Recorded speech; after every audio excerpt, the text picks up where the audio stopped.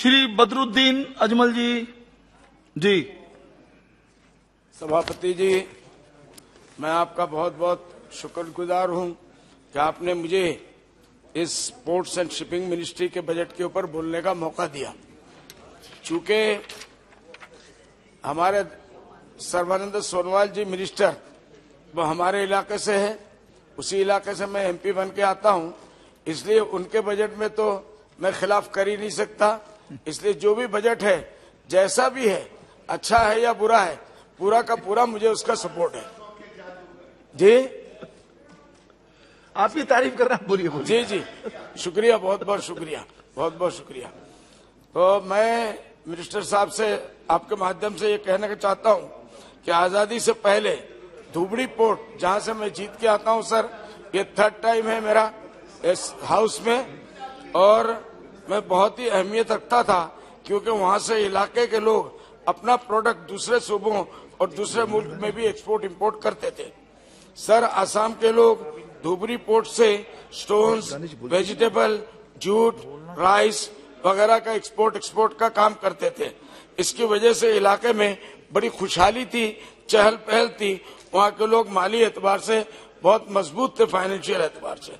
मगर सर, मैं आपके माध्यम से ये कहना चाहता हूँ मुल्क की तकसीम के बाद, पार्टीशन के बाद, धुबड़ी और कोलकाता के बीच में शिप्स का रास्ता बंद हो गया, जो कि इम्पोर्टेंट पॉइंट था, क्योंकि वाटरवे का कुछ हिस्सा दूसरे मुल्क में चला गया, उसके बाद धुबरी पोर्ट बिल्कुल बेकार हो गया और वो बंद हो गया। सर, मैं आपके माध्यम से इसका असर लोगों की ज़िंदगी पर पड़ा, उनकी माली हालात खराब हो गई और धीरे धीरे धुबड़ी और उसके आसपास के इलाके मुल्क के सबसे ज़्यादा पिछड़ा हुआ इलाकों में से एक हो गया। सर, मेरा क्षेत्र जो है, धुबड़ी उस जमाने में पूरे आसाम का सबसे चहल पहल वाला इलाका था। जब ये पोर्ट वहाँ तक था, उसके बाद वो अचानक बंद कर दिया गया।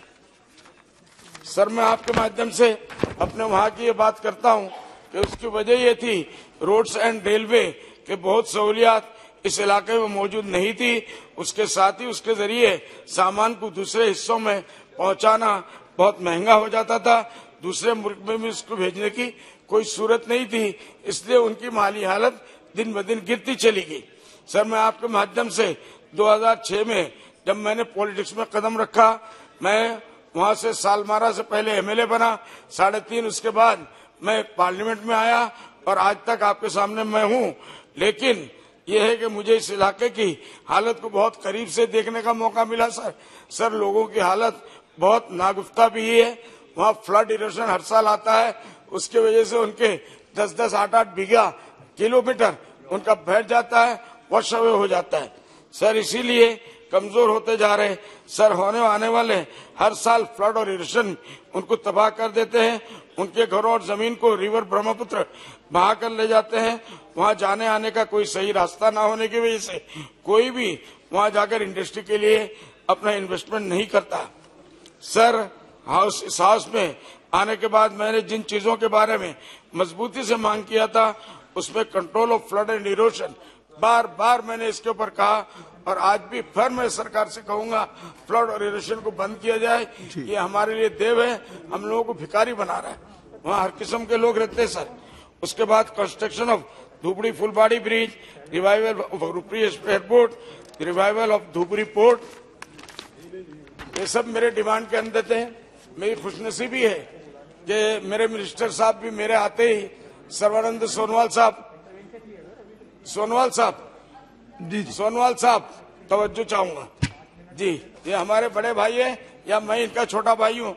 हम लोग दोनों जब भी मिलते हैं लगते तो आप ही बड़े हैं वैसे। जी। उनको तो कहना पड़ेगा सर। हमारे मिनिस्टर है उनको हम थोड़ा नहीं लगाएँगे तो काम हमारे कैसे बनेगा? इतना तो करने का मौका दीजिए। जी। और वो हमारे गाँव इलाके के जी। सर, इस बालाक में, इसमें हाउस के इस बार हाँ उठाया और मुझे खुशी है कि सरकार ने धुबड़ी पोर्ट को रिवाइव करने के लिए फंड दिया और फिर उससे बिज़नेस एक्टिविटी शुरू हुआ। जो मिनिस्टर साहब जानते हैं सर मगर अभी भी उसमें इम्प्रूवमेंट की बहुत ज़रूरत है। वहाँ मजीद सहूलत के लिए फंड की ज़रूरत है। इसलिए मैं सरकार से मांग करता हूँ मिनिस्टर साहब के आपके माध्यम से कि वो इसके लिए फंड दिया के दे ताकि धुबरी पोर्ट एक बार फिर से इलाके के लोगों के लिए बिज़नेस पॉइंट बने और इलाके के लोगों की तरक्की हो सके। सर मैं आपके माध्यम से धुबरी के अलावा सदिया धोला पांडू करीमगंज वगैरह के पोर्ट्स को भी मॉडर्नाइज किया गया है और काम जारी है। मुझे उम्मीद है कि हमारे मिनिस्टर साहब की निगरानी में ये सब जगह तरक्की करेंगे और कुछ ऐसा किया जाएगा जिससे वहाँ टूरिज़्म को भी इसके लिए वो मिले ताकि उन इलाकों के लोगों को थॉमस जी। जी सर सर आपने बहुत मौका दिया सब लोगों को। मुझे भी सर मिनिस्टर साहब हमारे इलाके कंक्लूड कीजिए। उनका आप अभी कंक्लूड कर रहा हूँ। तो सर पिछले दिनों ये हुआ कि शायद मिनिस्टर साहब के पास भी रिपोर्ट आया होगा, बांग्लादेश से कुछ जहाज़ आए थे जो पत्थर लेने जाते हैं यहाँ शाम से, धुबड़ी वगैरह के इलाके से। वो धुबड़ी में उनके जहाज़, चार पाँच जहाज़ फंस गए और उसमें बेचारे सैकड़ों मजदूर उसमें फंस गए।